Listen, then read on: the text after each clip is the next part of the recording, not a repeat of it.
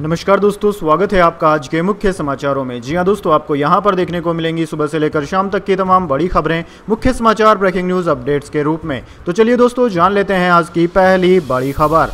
अधीर रंजन चौधरी ने संसदीय समिति के सामने माफ़ी मांगी। लोकसभा से सस्पेंशन हटेगा। सदन में पीएम मोदी पर टिप्पणी की थी। जी हाँ दोस्तों, लोकसभा की विशेषाधिकार समिति ने कांग्रेस सांसद अधीर रंजन चौधरी पर लगाए गए सस्पेंशन को हटाने का ऐलान किया है। न्यूज़ एजेंसी पीटीआई के मुताबिक विशेषाधिकार समिति के सामने पेश होकर कांग्रेस नेता अधीर रंजन चौधरी ने माफ़ी मांगी और कहा कि वे किसी की भावनाओं को आहत करना नहीं चाहते थे। पीएम मोदी पर टिप्पणी को लेकर उन्हें 11 अगस्त को मानसून सत्र के आखिरी दिन लोकसभा से सस्पेंड कर दिया गया था। दोस्तों, विशेषाधिकार समिति के मेंबर ने बताया कि अधीर रंजन चौधरी का सस्पेंशन हटाने के लिए सर्वसम्मति से एक प्रस्ताव पास किया गया है। बहुत जल्द इस प्रस्ताव को लोकसभा स्पीकर ओम बिरला के पास भेजा जाएगा। वहीं अधीर रंजन की सदस्यता भी बहाल कर दी जाएगी। इसके बाद दोस्तों, अगली बड़ी खबर। राजस्थान के मुख्यमंत्री बोले जुडिस्ट्री में भयंकर भ्रष्टाचार। कई वकील जो लिख कर ले जाते हैं, वही जजमेंट आता है। जी हाँ दोस्तों, राजस्थान के मुख्यमंत्री अशोक गहलोत ने कहा है कि आज जुडिशरी में भयंकर भ्रष्टाचार हो रहा है। मैंने सुना है कि कई तो जजमेंट लिख कर ले जाते हैं, वही जजमेंट आता है। जुडिशरी के अंदर यह क्या हो रहा है? चाहे लोअर जुडिशरी हो या अपर हालात गंभीर है। देशवासियों को सोचना चाहिए। गहलोत जयपुर में मीडिया से बातचीत कर रहे थे। उन्होंने कहा कि भाजपा विधायक कैलाश मेघवाल ने केंद्रीय कानून मंत्री अर्जुन राम मेघवाल पर जो आरोप लगाए हैं, वो सही है। मुझे मालूम पड़ा है कि उनके वक्त बहुत बड़ा करप्शन हुआ था। उसे दबा दिया गया। इन लोगों ने हाईकोर्ट से स्टे ले रखा है। इन्होंने किसी की परवाह नहीं की। हम तो कभी किसी के पीछे पड़ते नहीं हैं। जुडिशरी आरपीएससी एसबी में कभी इंटरफेयर नहीं किया। मैंने जीवन में कभी इन संस्थाओं के काम में हस्तक्षेप नहीं किया। न कभी करना चाहिए। इसके बाद दोस्तों, अगली बड़ी खबर। उद्धव ठाकरे बोले, गैस सिलेंडर सस्ता होने की वजह इंडिया अलायंस से दावा, सरकार आगे चलकर फ्री सिलेंडर भी देगी। पवार ने कहा, हम बदलाव के लिए साथ हैं। जी हाँ दोस्तों, विपक्षी गठबंधन Indian National Development Inclusive Alliance, यानी कि इंडिया की तीसरी बैठक इकतीस अगस्त और एक सितंबर को मुंबई के ग्रांड हयात होटल में होगी। इस बैठक से पहले हुई प्रेस कॉन्फ्रेंस में एनसीपी नेता शरद पवार ने कहा कि हम परिवर्तन के लिए एक साथ आए हैं। 28 पार्टियों का सम्मेलन कल से शुरू होगा। चुनाव में परिवर्तन के लिए विकल्प ज़रूरी है। हमारा भरोसा है कि देश को एक बढ़िया विकल्प मिलेगा। शिवसेना के नेता उद्धव ठाकरे ने कहा कि हमारा गठबंधन बनते ही सरकार ने गैस के दाम कम कर दिए हैं। देखते जाइए। आगे से फ्री सिलेंडर भी दिया जाएगा। नौ साल से इन्हें बहनों की याद नहीं आई। इस बार रक्षाबंधन का गिफ्ट दे रहे हैं। क्या पहले रक्षाबंधन नहीं मनाया गया था? हमारी विचारधारा अलग अलग ज़रूर है। हमारा उद्देश्य लेकिन एक है संविधान की रक्षा करना। हमारे पास प्रधानमंत्री बनने के लिए कई चॉइस हैं, लेकिन भाजपा के पास मोदी के अलावा कोई विकल्प नहीं है। इसके बाद दोस्तों, अगली बड़ी खबर। मात्र सात मिनट में कैंसर का इलाज। ऐसा करने वाला इंग्लैंड पहला देश पेश करने जा रहा है चमत्कारी इंजेक्शन जी हाँ दोस्तों, ब्रिटेन की सरकारी राष्ट्रीय स्वास्थ्य सेवा एनएचएस इंग्लैंड में सैकड़ों रोगियों को कैंसर के इलाज के लिए इंजेक्शन पेश करने वाली दुनिया की पहली एजेंसी होगी। इससे कैंसर के इलाज में लगने वाले समय में तीन चौथाई तक की कटौती हो सकती है। Medicine and health care products regulatory agency M से मंजूरी के बाद एन इंग्लैंड यानी कि नेशनल हेल्थ सिस्टम इंग्लैंड ने मंगलवार को कहा कि इम्यूनोथेरेपी एटेजोलिजुमाब से इलाज कराने वाले सैकड़ों रोगियों को त्वचा के नीचे इंजेक्शन दिया जाएगा। इससे कैंसर टीमों को इलाज के लिए और अधिक समय मिल पाएगा। West Suffolk NHS Foundation Trust के सलाहकार ऑक्निकोलॉजिस्ट डॉक्टर एलेक्जेंडर मार्टिन ने बताया कि इस मंजूरी से न केवल हमें अपने मरीजों की देखभाल में मदद मिलेगी, बल्कि इससे हमारी टीम को दिन भर में अधिक से अधिक मरीजों का इलाज करने में सहायता भी मिलेगी। इसके बाद दोस्तों, अगली बड़ी खबर। चंद्रयान तीन के रोवर ने लैंडर की पहली फ़ोटो भेजी। प्रज्ञान के नेविगेशन कैमरों ने ली तस्वीर। चंद्रमा की सतह पर ड्रिलिंग करता दिखा लैंडर। जी हाँ दोस्तों, चंद्रयान तीन के प्रज्ञान रोवर ने आज सुबह विक्रम लैंडर की तस्वीर क्लिक की। रोवर पर दो नेविगेशन कैमरे लगे हैं, जिनसे ये फ़ोटो क्लिक की गई है। इसमें विक्रम लैंडर पर लगा पैलोड चास्टे सतह पर ड्रिलिंग करता दिख रहा है। ये पैलोड सतह और गहराई में तापमान मापता है। चंद्रयान तीन का लैंडर तेईस अगस्त को शाम छह बजकर चार मिनट पर चंद्रमा पर उतरा था। इसके बाद रोवर बाहर आया था। इसरो ने लैंडिंग के करीब 14 घंटे बाद लैंडर के लैंडर के रोवर से बाहर आने की पुष्टि की थी। रोवर के कैमरों को इलेक्ट्रो ऑप्टिक्स सिस्टम प्रयोगशाला से विकसित किया गया है। दोस्तों, चाँद पर पहुँचने के छठे दिन चंद्रयान ने दूसरा ऑब्जर्वेशन भेजा था। इसके मुताबिक चाँद के साउथ पोल पर सल्फ़र की मौजूदगी है। चंद्रमा की सरफेस पर aluminium calcium iron chromium type titanium की मौजूदगी का भी पता चला है। इसके अलावा चाँद की मिट्टी में मैग्नीज, सिलिकॉन और ऑक्सीजन भी मौजूद है, जबकि हाइड्रोजन की खोज जारी है। यानी कि अब तक कुल नौ एलिमेंट चाँद की मिट्टी में मिले हैं। प्रज्ञान रोवर पर लगे एलआईबीएस यानी कि laser induced breakdown spectroscope payload ने ये ऑब्जर्वेशन भेजे हैं। इसके बाद दोस्तों, अगली बड़ी खबर। इंफ्रास्ट्रक्चर और कारोबार में रुकावट डालने वाले ही देश में रोज़गार को रोक रहे हैं। एनडीटीवी से बोले एस जयशंकर। जी हाँ दोस्तों, विदेश मंत्री एस जयशंकर ने मंगलवार को एनडीटीवी के editor in chief Sanjay Pugalia के साथ खास कार्यक्रम में बताया कि रोज़गार सृजन, बुनियादी ढांचे के विकास और विदेशों से निजी पूंजी को घरेलू बाज़ार में विनिर्माण यानी कि मैन्युफैक्चरिंग अवसरों तक आसानी से पहुँच सुनिश्चित करने के बीच मज़बूत संबंध है। उन्होंने कहा कि सरकार को बुनियादी ढांचे का निर्माण करना होता है तो और ऐसी नीतियाँ बनानी होती है जिनसे लोगों के लिए भारत में निवेश करना या व्यवसाय चलाना आसान हो सके। उन्होंने विपक्ष पर परोक्ष रूप से कटाक्ष भी किया और कहा कि बुनियादी ढांचे और व्यापार को अवरुद्ध करने वाले लोग रोज़गार भी अवरुद्ध करते हैं। इसके बाद दोस्तों, अगली बड़ी खबर। आदित्य एल वन मिशन के इंटरनल चेक पूरे 2 सितंबर को श्रीहरिकोटा से लॉन्च होगा मिशन करीब चार महीने में एल वन पॉइंट तक पहुंचेगा।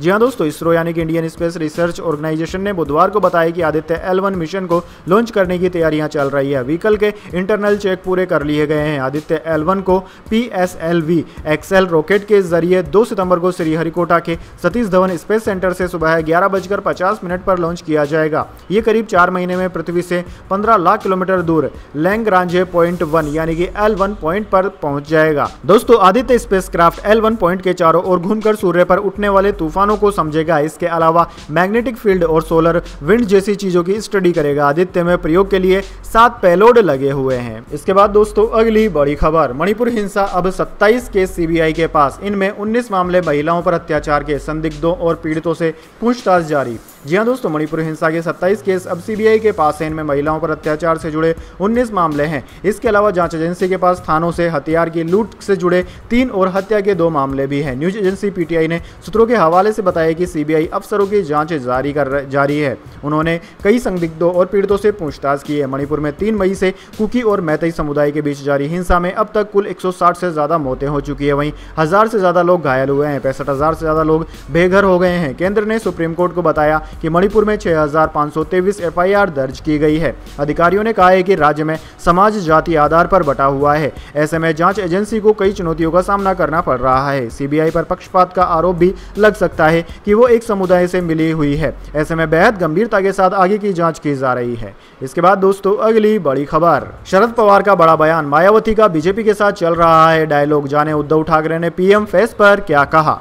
जी हाँ दोस्तों, राष्ट्रवादी कांग्रेस पार्टी एनसीपी के अध्यक्ष शरद पवार ने बुधवार को कहा कि बसपा सुप्रीमो मायावती की भारतीय जनता पार्टी से बातचीत चल रही है। पवार ने कहा कि उन्हें ऐसी जानकारी मिली है कि मायावती का बीजेपी के साथ डायलॉग जारी है। वे उद्धव ठाकरे के साथ महाविकास अघाड़ी नेताओं की एक प्रेस कॉन्फ्रेंस में बोल रहे थे। पवार का यह बयान ऐसे समय आया है जब बहुजन समाज पार्टी की पार्टी की अध्यक्ष मायावती ने ऐलान किया है कि राजस्थान और मध्य प्रदेश समेत चार राज्यों के आगामी विधानसभा चुनाव और अगला लोकसभा चुनाव अपने बलबूते पर ही लड़ेगी। वहीं गैर भाजपा भाजपाई दलों के गठबंधन इंडिया में पीएम पद के चेहरे को लेकर हो रही खींचतान पर। महाराष्ट्र के पूर्व मुख्यमंत्री और शिवसेना के नेता उद्धव ठाकरे ने भी प्रेस कॉन्फ्रेंस में अपनी बात रखी। उन्होंने कहा कि इंडिया के पास पीएम पद के लिए कई चेहरे हैं, लेकिन भाजपा के पास कितने हैं? ठाकरे ने कहा कि सभी दलों की विचारधारा अलग अलग हो सकती है, पर संविधान को बचाने के लिए हम एक साथ आए हैं। इसके बाद दोस्तों, अगली बड़ी खबर। पिछहत्तर साल में पहली बार सऊदी पहुँची इसराइली फ़्लाइट। जेदाहा में इमरजेंसी लैंडिंग पैसेंजर बोले, हम शॉर्ट्स में थे, कुछ देर तो डर लगा।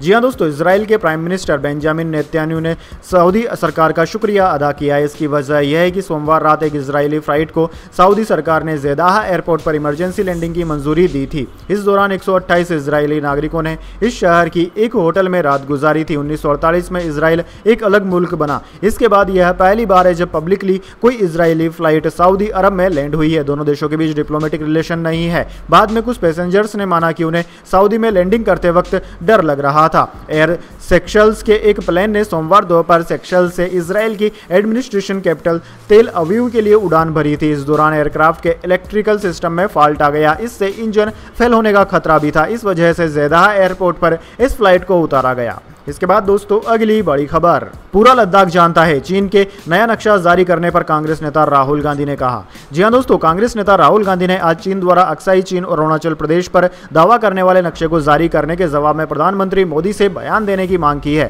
सोमवार को चीन ने एक नया नक्शा, मानक नक्शा जारी किया। इनमें अक्साई चीन, जिस पर उसने उन्नीस सौ बासठ में युद्ध में कब्जा किया था और अरुणाचल प्रदेश जिस पर वह दक्षिण तिब्बत के रूप में दावा करता है, उसे अपने क्षेत्र के हिस्से के रूप में दिखाया है। मैप में संपूर्ण दक्षिण चीन सागर को भी चीन के हिस्से के रूप में दिखाया गया है, जैसा कि पिछले संस्करण में दिखाया गया था। इस पर दोस्तों, राहुल गांधी ने कर्नाटक के लिए रवाना होते समय कहा कि प्रधानमंत्री को इस बारे में कुछ कहना चाहिए। मैं वर्षों से कह रहा हूँ कि पीएम ने जो कहा कि लद्दाख में एक इंच ज़मीन नहीं गई, वह झूठ है। पूरा लद्दाख जानता है कि चीन ने अतिक्रमण किया है। यह मानचित्र मुद्दा बहुत गंभीर है। उन्होंने ज़मीन छीन ली है। विदेश मंत्री एस जयशंकर ने एनडीटीवी से खास बातचीत में कहा कि नक्शे का कोई मतलब नहीं है और चीन को ऐसे नक्शे जारी करने की आदत है।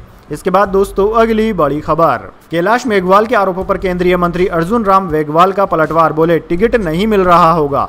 जी हाँ दोस्तों, बीजेपी विधायक कैलाश मेघवाल ने अपनी पार्टी, अपनी ही पार्टी के नेता और केंद्रीय मंत्री अर्जुन राम मेघवाल पर भ्रष्टाचार के आरोप लगाए। यह आरोप उन्होंने कोटिया में मंसूरी समाज द्वारा आयोजित अभिनंदन समारोह में आरोप लगाए हैं। इस मंच से उन्होंने सीएम अशोक गहलोत की भी तारीफ़ की। तब अब अर्जुन राम मेघवाल ने इसको लेकर जवाब दिया है और कहा कि कैलाश मेघवाल को संभवतः बीजेपी से टिकट नहीं मिल रहा है, इसलिए वह कांग्रेस की ओर जा रहे हैं और मेरी आलोचना कर रहे हैं। अर्जुन राम मेघवाल ने कहा कि वह मुझे मन से धमकी दे रहे थे कि इस बार मुझे टिकट दोगे या नहीं? मैंने कहा कि टिकट देने वाला मैं कौन होता हूँ? टिकट तो पार्टी तय करती है। उन्होंने पार्टी के वरिष्ठ नेताओं से मुलाकात की होगी। उन्हें लगा, लग रहा होगा कि उन्हें टिकट नहीं मिलेगा। तो इसलिए वह कांग्रेस की ओर जा रहे हैं। वह मंच पर कांग्रेस के सीएम की तारीफ़ कर रहे हैं। तारीफ़ ही नहीं कर रहे। तारीफ़ करते थक नहीं रहे हैं। जब वह कांग्रेस के सीएम की प्रशंसा कर रहे हैं तो यह स्वाभाविक है कि वह मेरी आलोचना करेंगे ही।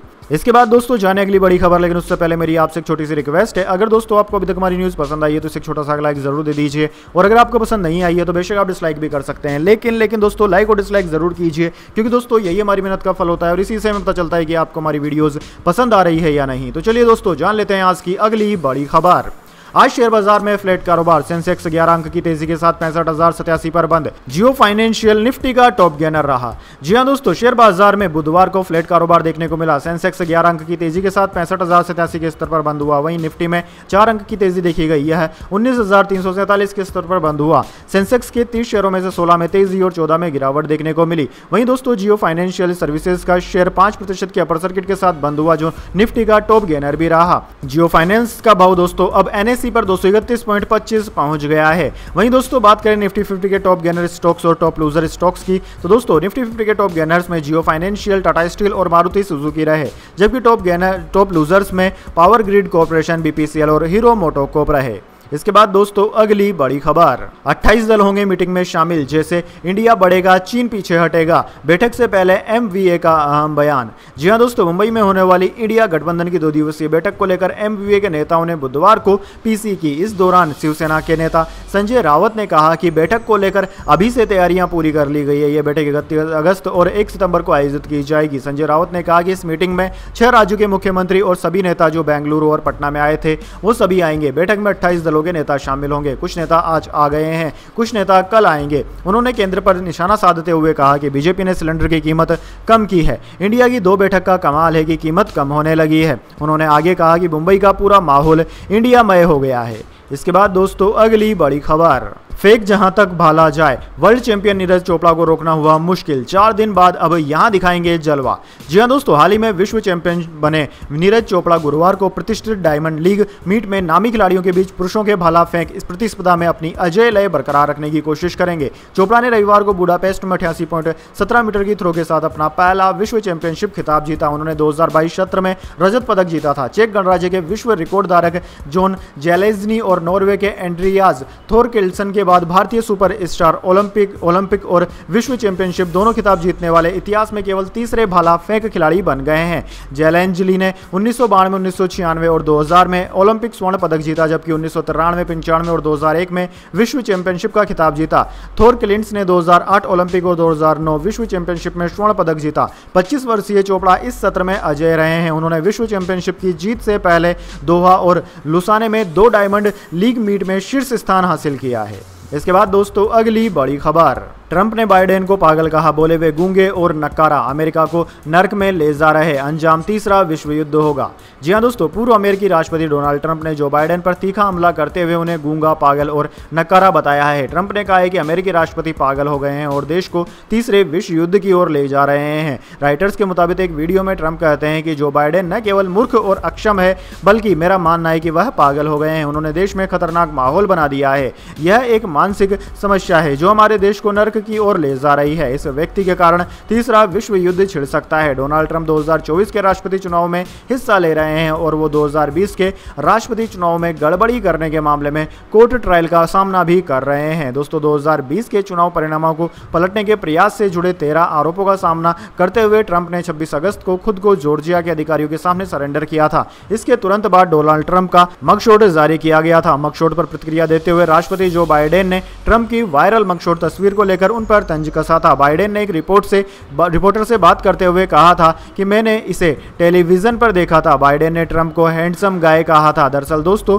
मगशोट किसी व्यक्ति का वह फ़ोटो है जिसे उसकी गिरफ्तारी पर पुलिस रिकॉर्ड के लिए लिया जाता है। इसमें व्यक्ति के चेहरे और कंधे का फ़ोटो लिया जाता है। ट्रंप के सरेंडर के बाद यह शब्द सोशल मीडिया पर लगातार ट्रेंड में है। इसके बाद दोस्तों, अगली बड़ी खबर। जवान रिलीज़ से पहले वैष्णो देवी पहुँचे शाहरुख खान। हाई सिक्योरिटी के बीच फेस कवर करके पहुँचे। पठान की रिलीज़ से पहले भी दर्शन किए थे। जी हाँ दोस्तों, शाहरुख खान अपनी अपकमिंग फ़िल्म जवान की रिलीज़ से पहले वैष्णो देवी दर्शन करने पहुँचे। वे नीले रंग की हुड्डी में थे। उनका चेहरा पूरी तरह से ढका ढका हुआ था। उन्होंने चेहरे पर काले रंग का मास्क भी लगाया हुआ था। शाहरुख के आसपास सुरक्षा बलों का एक घेरा देखा जा सकता है। दोस्तों, बताया जा रहा है कि वे बीती रात ही जम्मू के कटरा पहुँचे। पठान की रिलीज़ के वक्त भी शाहरुख खान वैष्णो देवी पहुँचे थे। उस वक्त फ़िल्म के एक गाने बेशरम रंग पर काफ़ी विवाद हुआ था। वीडियो में देखा जा रहा है कि शाहरुख खान के सुरक्षा गार्ड लोगों से फ़ोटो लेने से मना कर रहे हैं। उनके आसपास भीड़ देखी जा सकती है। दोस्तों, रिपोर्ट्स के मुताबिक शाहरुख खान मंगलवार रात साढ़े नौ बजे कटरा पहुँचे। उन्होंने कुछ देर एक स्थानीय होटल में आराम किया। इसके बाद करीब ग्यारह बजे मंदिर पहुंचकर दर्शन किए। इसके बाद दोस्तों, अगली बड़ी खबर। एप्पल का वंडर लस्ट इवेंट 12 सितंबर को होगा। आईफोन 15 सीरीज़ के साथ वॉच सीरीज़ 9 और अल्ट्रा 2 वॉच भी लॉन्च कर सकती है कंपनी। जी हाँ दोस्तों टेक कंपनी एप्पल का साल का सबसे बड़ा लॉन्च इवेंट 12 सितंबर को होगा। कंपनी इस साल अपने इवेंट का नाम वंडर लस्ट रख रही है, जो कैलिफ़ोर्निया में एप्पल हेडक्वार्टर के स्टीव जॉब्स थिएटर में होगा। भारतीय समय के अनुसार यह इवेंट रात साढ़े दस बजे शुरू होगा, जिसकी लाइव ऑनलाइन स्ट्रीमिंग होगी। एप्पल इस इवेंट में आईफोन पंद्रह सीरीज़ के साथ Apple watch series nine nine और एप्पल वॉच अल्ट्रा टू भी लॉन्च कर सकती है। हालाँकि इवेंट में कौन कौन से प्रोडक्ट लॉन्च किए जाएँगे, इसके बारे में कंपनी ने ऑफिशियली तौर पर कोई भी जानकारी नहीं दी है। वहीं दोस्तों एप्पल वंडरलस्ट इवेंट में company I O operating system के रोल आउट की डेट भी अनाउंस कर सकती है। आई ओ के फीचर कंपनी ने तीन महीने पहले डब्ल्यू डब्ल्यू इवेंट में अनवील किए थे। आई ओ एस में live voice mail transmission face time message record करने की एबिलिटी पर्सनलाइज्ड कॉन्टैक्ट पोस्टर जैसे फीचर्स मिलेंगे। इसके बाद दोस्तों अगली बड़ी खबर। अमिताभ बच्चन को राखी बांधने पहुँची बंगाल सीएम ममता बनर्जी। जलसा के बाहर गाड़ियों का काफिला, सीएम को सी ऑफ़ करने आई ऐश्वर्या और आराध्या। जी हाँ दोस्तों, पश्चिम बंगाल की मुख्यमंत्री ममता बनर्जी अमिताभ बच्चन से मिलने, उनके बंगले जलसा पहुँची। ममता बिग बी को राखी बांधने पहुँची। बताया जा रहा है कि अमिताभ बच्चन ने ममता बनर्जी को अपने घर चाय पर बुलाया था। महाराष्ट्र में विपक्षी दलों के अलायंस, इंडिया की मीटिंग हो रही है। इसी में शामिल होने ममता मुंबई पहुँची है। दोस्तों, आपकी जानकारी के लिए बता दें, पिछले साल कोलकाता में एक इवेंट के दौरान ममता ने अमिताभ बच्चन को भारत रत्न देने की मांग की थी। अमिताभ बच्चन की पत्नी और राज्यसभा सांसद जया बच्चन से भी ममता बनर्जी के अच्छे संबंध हैं। वहीं दोस्तों, Indian National Development Inclusive Alliance की तीसरी बैठक इकतीस अगस्त से एक सितंबर के बीच मुंबई के ग्रांड हयात होटल में होगी। इसी के सिलसिले में ममता बनर्जी मुंबई आई थी और मुंबई आते ही उन्होंने अपने मुँह बोले भाई अमिताभ बच्चन को राखी बांधने उनके घर पर भी वो गई। इसके बाद दोस्तों, अगली बड़ी खबर। एशिया कप 2023 बाबर आज़म ने 19वां शतक जड़कर बनाया अद्भुत रिकॉर्ड। अमला कोहली जैसे दिग्गज रह गए बहुत पीछे। जी हाँ दोस्तों, एशिया कप के पहले मुकाबले में पाकिस्तान के सामने नेपाल की चुनौती है।